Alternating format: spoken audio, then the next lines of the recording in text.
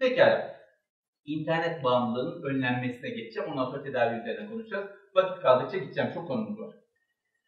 Ee, önlem, önlem ama çok önemli. Bahsettiğimiz gibi. Amacımız ne bizim önleme ile alakalı? Bir, interneti kullanmasınlar mı? Mutlaka kullansınlar. Önleme ile ilgili bizim amacımız sağlıklı kullanımı temin etmek. Sağlıklı kullanım, doğru kullanım nasıl olur? Bunu sağlamak. İki, bağımlılık gelişmesin. Bağımlılığın gelişimini önlemek için ne yapabiliriz? Ortaya çıkan faktörleri tespit edelim, ortaya çıkan faktörlerle savaşalım vesaire. Bağımlılık gelişimini ortaya e, önleyelim.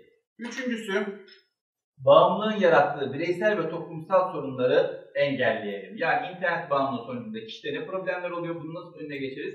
Toplumda ne problemler oluyor, bunu nasıl ortaya, bunu nasıl önüne geçeriz? Şimdi ikinci maddeyle üçüncü maddenin arasında şöyle bir fark var. İkinci maddede sebeplerle savaşıyoruz, üçüncü maddede sonuçlarla savaşıyoruz.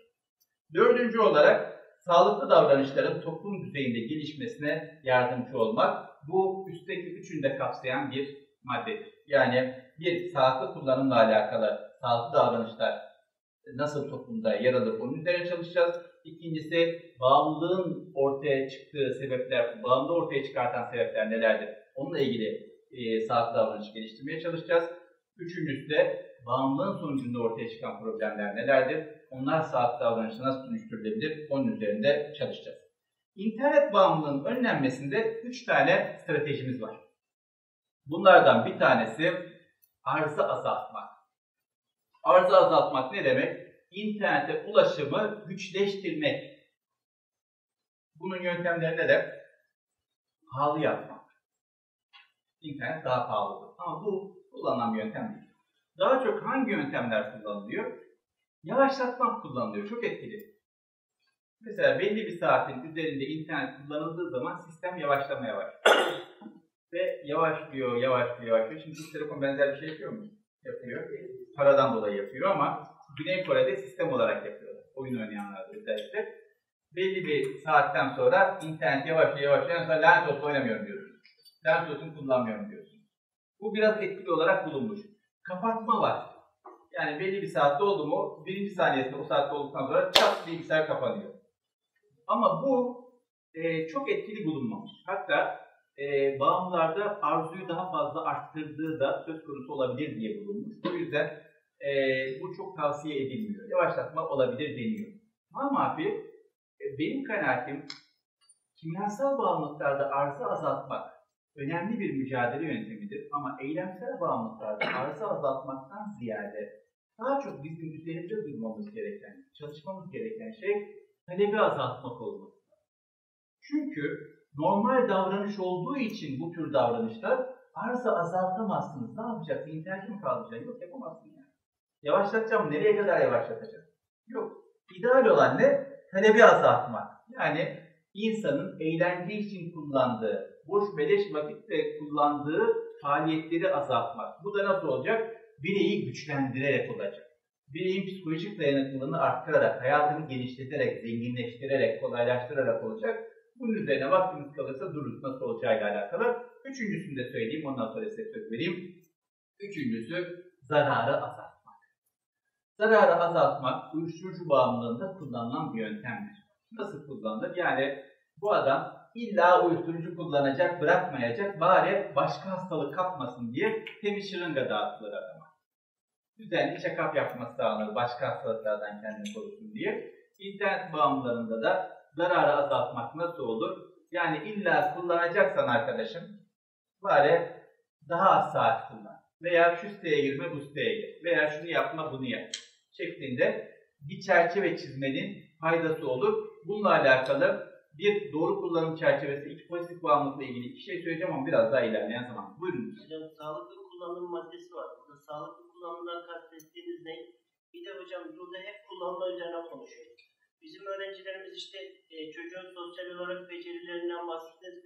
Ama anne baba çalışan, çocuk evde tek başına, çocuğu herhangi bir yere gönderemiyor. Çocuklar telefonla, e, telefonla nasıl söyleyeyim? Biz bile okulda WhatsApp gruplarımız var, farklı gruplarımız bir şekilde bu teşvik evet. ediliyor. Evet. Ee, öğrencimiz, üç tane öğrencimiz dedi ki ben telefon kullanıyorum hocam dedi, e, vazgeçemiyorum. Dedim tamam kurtulmak istiyor musunuz? Evet. Telefonlarınızı verin dedim. Cuma günü alın dedim.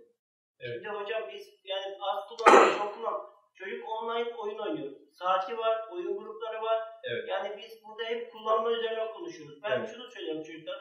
Bir gün kullanın istediğiniz kadar. Bir gün ama okul zamanı kesinlikle bu şey olmayacak. Çocuklardan telefonu aldığım zaman e, ilk gün geldiler. İlk gün geldiler. Ben bir iki hafta böyle kendim aldım. Ondan sonra onlara bıraktım. E, şu oldu. Akşam dedi vakit çok uzun geldi hocam dedi. Yani Evet. çocukların zamanı olmayan çocuklar bu sefer sosyalleşmeye Tabii. başladı. Ailesinin ara, e, ailesiyle sohbet etmeye başladı. Yani burada şimdi ailenin de işine giriyor. Biz şimdi çalışan okulda yoğun bir şekilde, şekilde çalışıyoruz. Çocukla zaman geçirmektense çocuk orada televizyonla, telefonla uğraşıyor. Bizim de hoşumuza gidiyor. Biz de bir tarafa çekilmiş Peki. oluyoruz. Sorunuz var mı? Ee, sonra hocam sağlıklı kullanımda yani burada, Bahsedeceğim. burada bahsedeceğiz. Bahsedeceğim. hep kullanım üzerinde kullan, konuşuyorsunuz ama burada e, kullanımı azaltmaya yönelik ya da hep kaldırmayla ilgili bir kısım yok. Kaldırmayla alakalı hiçbir tavsiyemiz yok. Kaldırmayı yüzde yüz bıraktırmayı ka- doğru görmüyoruz. Yani hiç, bu hiç araba kullanmayın demek gibi bir şey. İnternet bu dönemin çocuklarında hiç internet kullanmasın, hiç cep telefonu kullanmasın istediğimiz bir şey değil, doğru bir şey değil. Çünkü bir şekilde hayatına başka bir zorluk olarak girecek. O yüzden asla sıfırlamak gibi bir mantığımız yok ama kullanım nasıl olması lazım? Ee, bununla alakalı uzaklaşma zaman zaman olabilir mi? Ara verme, tatil verme söz konusu olabilir mi? Teknoloji orucu tutma diyor mesela. Teknoloji orucu tutma söz konusu olabilir mi? Bunlardan bahsedeceğim. Pekala. Şimdi bahsettiğinizde toplumsal bir tarafı da var. Tam onun üzerinde duracağım. Ee, şöyle bir korkum var. Şimdi ben bir sürü şey anlatacağım. Sorunuz anlatacağım şeylerle alakalıysa sistemi bozmayalım. diye Vereceğim. En sonunda vereceğim ama. Tamam. Peki. Şimdi internet bağımlılığının önlenmesinde stratejilerden bahsettik. Araçlarımız nelerdir? Birincisi bilgilendirmedir. Mümkün olduğu kadar bu konuyla alakalı seminerler yapmamızda, farkındalığı arttıracak çalışmalar yapmamızda fayda var. İkincisi eğitim vermektir. Türkiye Bağımlılıkla Mücadele Eğitim TVM programı bu mücadele önleme ile alakalı yapılacak çalışmalar e, çerçevesinde tasarlandı. Bir tanesi budur. Üçüncü madde, bu çok önemli. Hocamın bahsettiği konuyla da alakalı toplumsal mücadele meselesi. Toplumsal mücadele meselesi ne demek? Şu demek. Bir anne baba ne kadar bilinçli olursa olsun, ne kadar bazı şeylerin farkında olursa olsun, ya dört duvar ev, çocuk ne yapacak? Ne yapacak yani? Sabahtan akşama kadar kendi kafasına şişmiş, çocuğa süre koyuyor, bir saat kullan, iki saat kullan, o süre bitiyor, çocuk adama bakıyor, adam çocuğa bakıyor, çok fazla alternatif yok. O yüzden mutlaka bir toplum içerisinde, küçük gruplar içerisinde bir faaliyetin olması lazım. Afrikalıların çok güzel bir sözü var. Diyor ki bir çocuk eğitmek istiyorsan önce bir köy kur. Çünkü insanı sadece anne baba eğitmez. Çevresindeki insanlar toplum da eğitir. O yüzden çocuğun ihtiyaçlarını karşılayabileceği bir sağlıklı bir toplum alternatifi çocuğa koymak zorundayız ki sağlıksız bir alternatife kaymamış olsun. Bu anlamda e, hangi noktalarda çocuklar boşluğa düşüyorlar ve akşamları özellikle, yaz tatillerinde özellikle, hafta sonlarında özellikle daha çok internete e, muhtaç duruma, mu- mu- muhtaç durumda kalıyorlar. Bununla alakalı STK'ların tespitler yapıp çalışmalar yapması lazım lokal bazda. Ulusal bazda yapılacak çalışmalar büyük bütçe ister, uzun zaman ister, bir sürü lokal değişiklik olur vesaire. Ama hiç ona bakmadan, devleti beklemeden bizim 5 kişi, 10 kişi, 20 kişi, 50 kişi küçük küçük çalışmalarla e, kendi çapımızda bir adım atmamız mümkün olur. Problemi yüzde yüz çözer mi? Çözmez. Yüzde on çözsün harikulade. Yüzde beş çözsün o da iyi bir şey. En azından biz kendi tarafımızda olanı yaparız. Geçen hafta Yeşilay'dan bir ekip e, bağımlılık rehabilitasyonuyla alakalı İngiltere'deki kurumları ziyaret ettiler. E, dönüşlerinde de bize rapor verdiler. Raporda çok ilginç bir madde vardı. Dedi ki raporu yazan arkadaşlardan biri. Hocam dedi, bizim burada dedi Türkiye'de herkes rehabilitasyon köyleri, rehabilitasyon yerleri, mekanları falan kocaman kocaman projeler düşünüyorlar. Büyük bütçeli, sürdürülebilirliği az ve tek mekana bağlı projeler düşünüyorlar. İngiltere'de şunu gördük. Küçücük evlerde küçük küçük çalışmalar yapıyorlar. iki katlı bir evde 20 kişiye çalışma yapıyor. Başka bir evde başka bir 20 kişiye başka birisi çalışma yapıyor. Başka birisi başka 30 kişiye yapıyor. O yüzden benim kanaatim yerel STK olmayı, yerel sivil toplum çalışması yapmayı biz maalesef e, çok ciddi olarak işletemiyoruz. Halbuki en önemli şey yerel anlamda bir düzenleme yapmak. Kendi mahallemde, kendi evimde, kendi apartmanımda, kendi ilçemde ne yapabiliyorum ben? Bu tür çalışmalar ne kadar artarsa toplumsal düzenleme o kadar mümkün olacak ama bu tür e, çalışmalar olmazsa ne kadar kanuni düzenleme yapılırsa yapılsın alternatif olmazsa insanlar bir şekilde o davranışa yönelecekler. O yüzden teknoloji bağımlılığını, internet bağımlılığını ortaya çıkartan sosyal faktörleri elimine etme anlamında, psikolojik faktörleri elimine etme anlamında mutlaka yerel çalışmalar yapmaya, yerel anlamdaki imkanları gözeterek imkanlar oluşturmaya e, mecburuz. Ne kadar yaparsak o kadar netice alacağız diye düşünüyorum. Çevresel düzenleme ile alakalı kanuni düzenlemeler çok önemli. Bu konuda hangi yasalar yapılmış, nasıl bir sınırlama var, e, ciddi anlamda bir e, devletin tarafına bakan yönü var. Bununla alakalı bizim yapabileceğimiz şeyler dünyadaki uygulamalar nelerdir, bizim işimize yarayacak uygulamalar nelerdir? Onunla alakalı çalışmalar hazırlayıp, raporlar hazırlayıp devleti, ilgilileri, yetkilileri sıkıştırmak. Yani şöyle düşünün, bakıyorsunuz e, bir ilçede sular kesik olsa bir ay insanlar şikayet ediyor, ayağa kalkıyor, kaymakama gidiyor, milletvekili gidiyor, valiye gidiyor. Bir yıl kesik olsa olay oluyor ilçede. Olur mu? Susuz olur mu? Olmaz. Bir ilçede elektrikler kesilse iki ay olay olur. Niye? İki ay elektrik kesilir mi? Kesilmez yani. Niye? İhtiyacımız var elektriğe, suya ihtiyacımız var. İnternetle alakalı da bir düzenlemeye ihtiyacımız var. Ya da internet bir kenara bırakıp çocuklarımızın nefes alabileceği imkanlarla alakalı düzenlemeye ihtiyacımız var. Aynı su gibi, aynı elektrik gibi çocukların faaliyet yapabilecekleri, kendilerini ifade edebilecekleri, sosyalleşebilecekleri mekanlara, alanlara ihtiyaçları var. Su gibi, elektrik gibi bunun peşine, hastane gibi bunun peşine düşmemiz lazım. Bakın Güney Kore'den bahsettik. Güney Kore'de e, iki tane merkez var. Bir tanesi ayaktan tedavi yapıyor, bir tanesi e, yatılı tedavi yapıyor. E, bir tanesi 200'ün üzerinde şubesi var. Bir tanesinde zannediyorum 30 tane şubesi var. E, ciddi para harcanıyor. Ve Türkiye'de de şayet üzerinde durulmazsa bu meselenin biz de ilerleyen zamanda Güney Kore gibi ayaktan tedavi merkezleri, yatılı tedavi merkezleri açacağız. Yazık günah. Aynı parayı bugün çocukların enerjilerini boşaltabilecekleri, hareket edebilecekleri, kendilerini ifade edebilecekleri, sosyalleşebilecekleri mekanlara harcayalım. Sonra da hastaneye harcamamış olalım. Her, her yönden biz kar etmiş oluruz. Pekala. Geçiyorum. Yine önleme ile alakalı süreçler nelerdir? Birincisi bireyi güçlendirme, psikolojik dayanıklılığını arttırma. Psikolojik dayanıklılık ne zaman azalır? Gelişimin tersine davrandığınız zaman, gelişim süreçlerine aykırı hareket ettiğiniz zaman azalır. Gelişim süreçleriyle alakalı ne ne yaparsak aykırı hareket etmiş oluruz. Onun üzerinde duracağım ama şimdi değil. İkincisi aile yapısını güçlendirme, aile ilişkilerini güçlendirme, aile bireylerinin birbirini tanımasını, birbiriyle ilişki kurmasını, birbiriyle konuşmasını, birbirine yardımcı olmasını güçlendirme. Maalesef bu noktada çok ciddi sıkıntılarımız var. Ailenin her geçen gün aile ilişkilerinin zayıfladığı bir dönemden geçiyoruz. Ee, Avustralya'da ben yüksek lisans yaparken çok garibime giden bir şey olmuştu. Çocuklar orada, orada doğmuş büyümüş çocuklar Türkçe bilmiyorlar. İngilizce konuşuyorlar. Oraya göçmen olarak gitmiş Türkler, onların anne babaları yani. Onlar da İngilizce bilmiyor, Türkçe biliyorlar. Bu iki grup anne babalarla çocuklar akşam karşılaşıyorlar. Muhabbet şu. Baba diyor, ne haber oğlum? Çocuğun kırık bir köşesi var. İyi. Okul nasıl? İyi. Ne yapıyorsun? Hiç. En çok kullandıkları kelime iyi ve hiç. Çünkü daha fazla Türkçe bilmiyorlar zaten.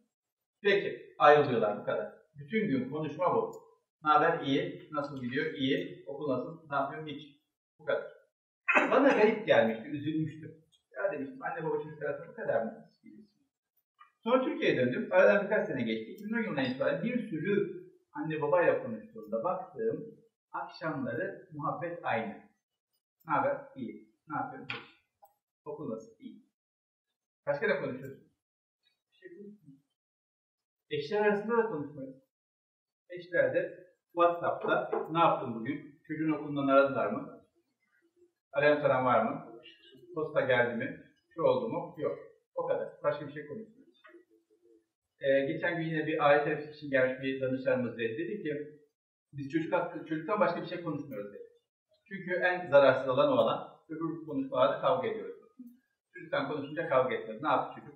Yedi mi? Yedi. İçti mi? İçti. Gitti mi? Gitti. Bu kadar. Dolayısıyla aileyi güçlendirmek çok önemli.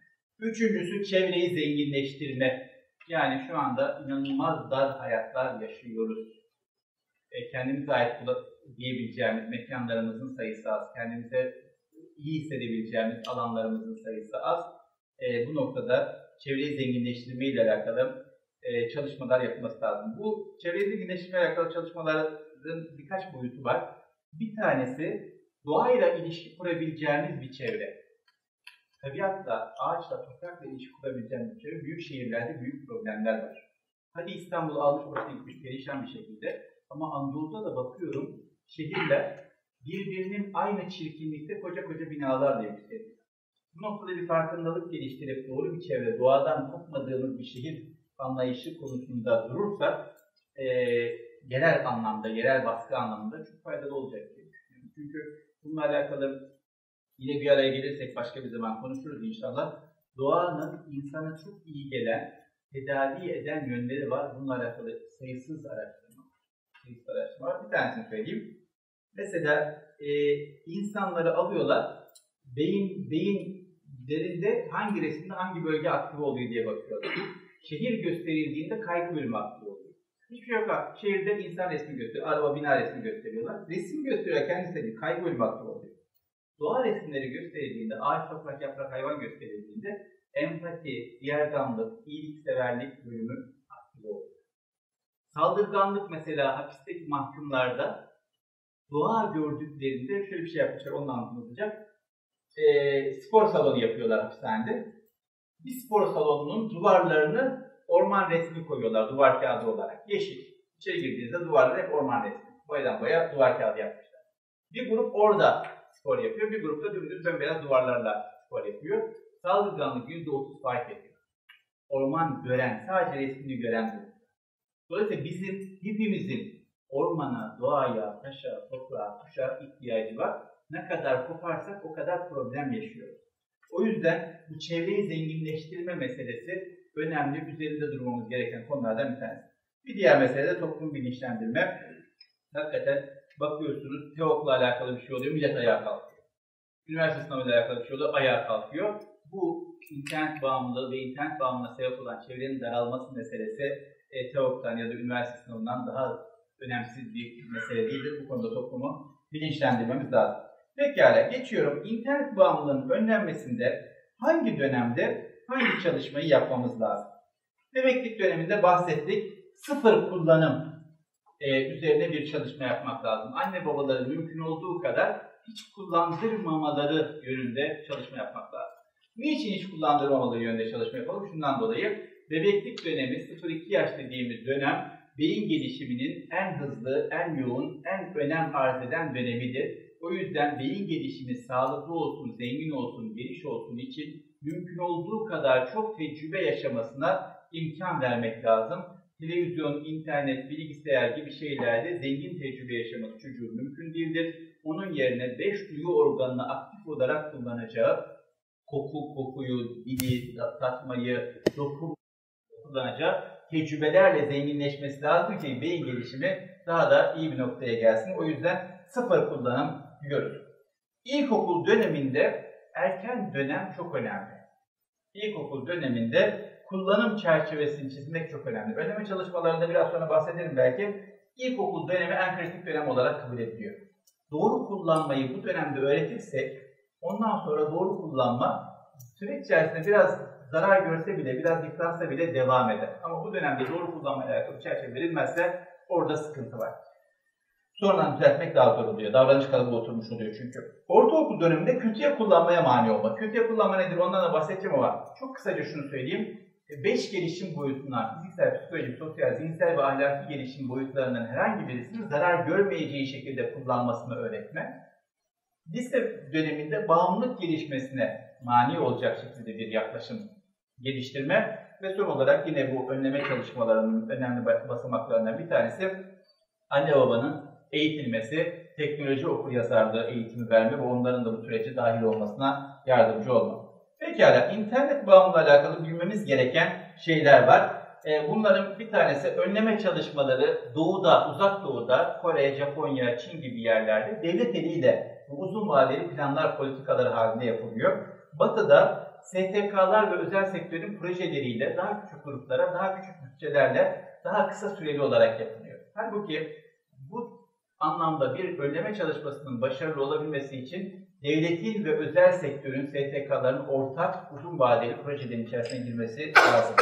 Bir diğer mesele dezavantajlı gruplarla alakalı en çok yaşadığımız şey anne babaların bilgisayarla alakalı sıfır bilgisi olması. Dolayısıyla dezavantajlı bir grupla çalışıyorsak ilk dikkat etmemiz gereken şey, ilk adım atmamız gereken konu anne babaların teknolojiyle ilgili eğitilmesi.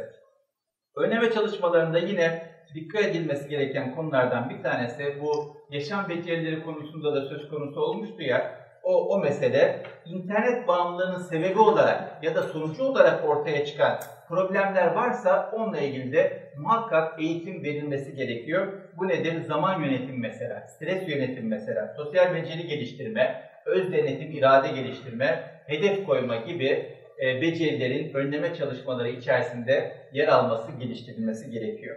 Bir diğer mesele önleme çalışmalarında tek başına hareket etmemek, diğer öğretmenleri de sürece dahil etmek, ne söyleneceği konusunda ortak dil geliştirmek çok önemli ve e, çevredeki kuruluşlardan, özellikle hastanelerden, camiler gibi dini kuruluşlardan da destek almak önleme çalışmalarının başarısı anlamında önemli faktörlerden bir tanesi. Başka ne var? Önleme çalışmalarına yardımcı olacak aplikasyonlar, uygulamalar cep telefonlarına, bilgisayarlara yönelik geliştirilirse, e, bu konuda yapılan çalışmalar sahiplenir ve teşvik edilirse faydalı olur. Uyarı sistemleri olabilir, e, kontrol sistemleri olabilir. Bu tür uygulamaların hepsinin faydası var. Desteklemek, kullanmak, yaymaya çalışmak lazım. Önleme çalışmaları mümkün olduğu kadar erken yaşlarda başlamasının faydası vardır. Önleme çalışmalarından biri olan yavaşlatma kapatmadan daha etkilidir. Bundan bahsettim. Yani bilgisayarın da yavaş olması kapatmadan daha etkili olarak önleyebiliyor. Önleme çalışmalarında olması gereken, mutlaka olması gereken bir şey nasıl kullanılımın cevabının verilmesi lazım. Biraz sonra ben ondan bahsedeceğim. Önleme çalışmalarında kültürel ve sosyal normlarla uygun paralel gitmesi lazım. Mesela Güney Kore'de kapatma yapmışlar ya, Amerika'da yapsanız tam tersi patlıyor. Güney Kore'nin kültürü devletin bu müdahalesini kabul ediyor ve tepki koymuyor. Ama Amerika'nın kültürü devletin böyle bir müdahale yapmasını asla sindiremiyor, tam tersi hareket ediyor özgürlükler adına. O yüzden e, dünyada böyle yapılıyor, biz de böyle yapalımdan ziyade bizim toplumumuzun yapısına uygun olan e, çalışma nedir? Yerel anlamdaki gerçekleri de göz önünde bulundurarak projeler, politikalar geliştirmek lazım.